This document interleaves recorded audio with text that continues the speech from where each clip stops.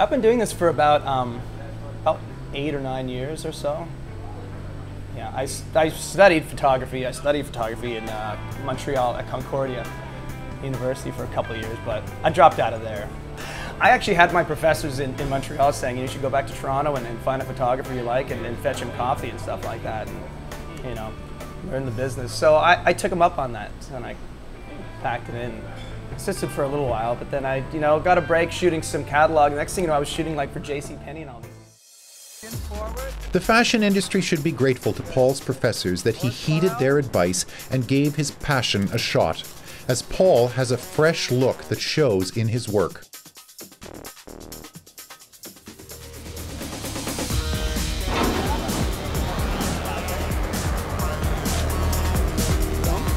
No, I'm gonna do one more. Jump down to that step. Katie, let me see you there. The art directors at the magazine came up with the concept. I think we're gonna do about 14 pages, so yeah, we've got a lot of, we've got outdoor locations. We're shooting here in the cafe, and uh, we've got some sort of late night locations we're shooting, so. Yeah, it's been very well put together. Yeah, it was, thought, it was well thought out, and it was just a matter of coming in and shooting it. Good, that's better. Um, we had we had a narrative that we were following. Uh, that you know the, these two girls, you know, were kind of like the Paris uh, and Nikki of St. Petersburg. the rich bad girls who go to the wrong side of town and and pick up some revolutionary bum and bring them back to their swank digs. Um, it's it's okay to follow that, but as we've been doing it, we've, we've we've shot it in that way, and we've also just done some just great portraits of them you know, I think it's nice just to shoot beautiful girls in great clothes and we placed them just so, and we got some great portraits. So as we're doing the narrative, we're also shooting it as a series of portraits, which which will look fantastic, I think, all laid out together. And then from there, you know, we, we talked together about locations, and, you know, the stylist pulled out the clothes, you know, with that reference in mind. So the idea came from them in the first place. And then they brought me in and we bounced around ideas as far as locations and what would work with the theme. You know, it's, it's, it's a real treat to work with these guys. It's, it's a thrill for me. And the art direction's good, and the casting's fantastic, and the clothes are great. I mean, once all those things are in place, you've got a good team. It, it's, it's a treat. It's not even work, it's fun.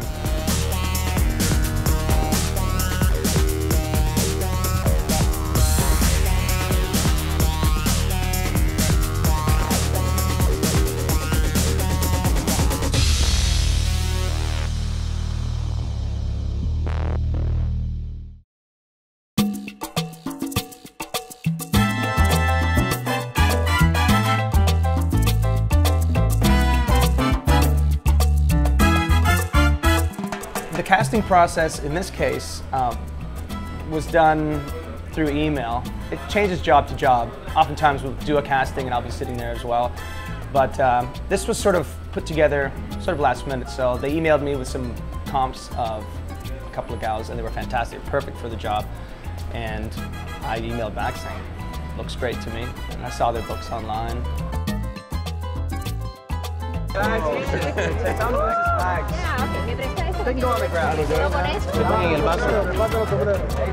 And you two are really close to this guy. Really laughing, you're enjoying this guy's company. That was pretty fun. We did this cafe shot. Uh, we had the girls dancing. We got one of those bros who was like selling hats on the corner to sit down with them at the cafe. We gave them all beers and told them to tell them stories, and he did. And they started laughing. And the next thing you know, about 300 people were there and we had some guitar players, and uh, it was fun, man. It was really fun. It was a hoot.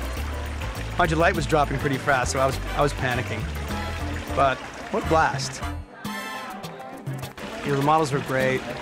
I'd never I'd never met any of them before this morning. We saw their cards, so you know the cards only tell you so much. You, you've got to meet them in person. But you know, they move well? You know, are they good people? They interact with each other. We needed these guys to really they're, they're, make like four good friends. And,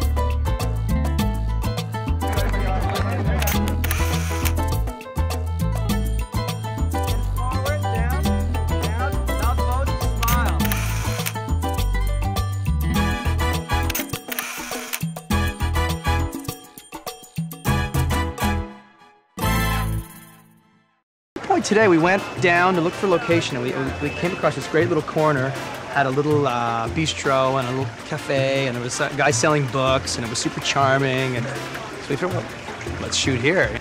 And this woman came walking by carrying like bananas and mangoes on, on her head. and uh, we did a really great shot. I think it was one of our best shots. This little portrait of her with the other guys in front of this little doorway. And it's a little smile. Not too hot, not too sexy, more just fun. Okay? We haven't shot anything yet. Okay. That's beautiful. Okay, well, uh, as far as knowing if you have, you know, the shot, the magic shot, yeah, sometimes, sometimes, sometimes I do. Sometimes, you know, you just know it fell together. Everything fell together, you know. We're all giggling and screaming. I am. We're done? Yeah, I think we got that. Okay, super.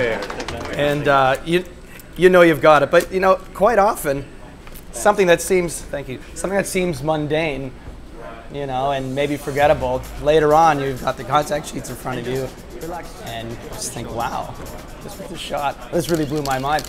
Other times, they'll shoot something and think, you know, it would really just went to hell. You know, nothing looked good. And you know, weeks later we'll get the film in front of us and think, man, this is this is it. This is the shot. And oftentimes, you know, those have been covers.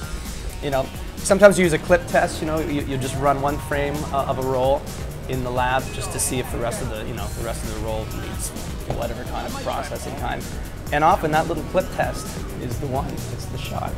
So, yeah, often you'll know, you'll, or you'll really think that you've got it, or you know you've got the shot. And more often than not, I'm surprised by the ones that you know seem to have slipped by.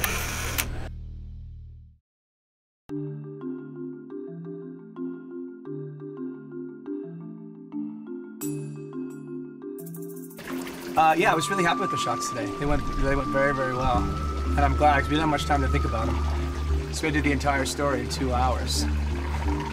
It stopped raining, so we decided to go to the island to do that yacht shop. Just went down there with the yacht, and uh, the sun came out out of nowhere.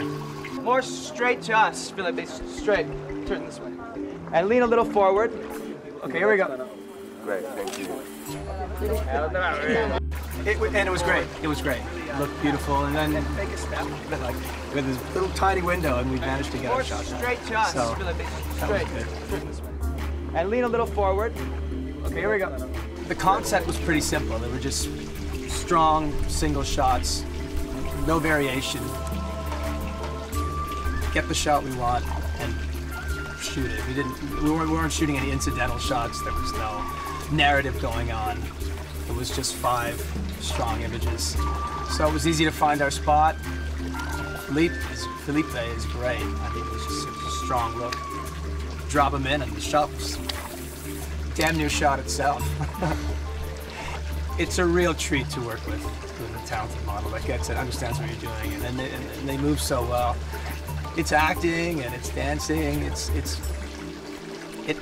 So much is involved with it, and it's a real treat to work with a good one. You know, it, some models are a little bit inexperienced, but you know what? You just get to direct them. Sometimes you have to place them just so. It takes a bit more work, but we, we've always got we always get our shot.